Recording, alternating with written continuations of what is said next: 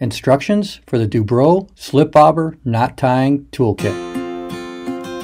Cut a 10 inch piece of slip bobber knot material. Insert the plastic tube inside of the tool. Place the material between the tube and the tool.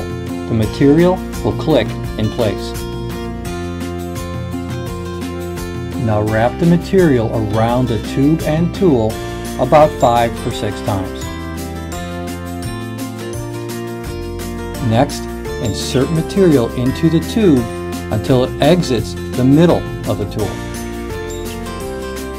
Pull secure on that end and slide the material off onto the tube. Adjust both ends until the knot forms.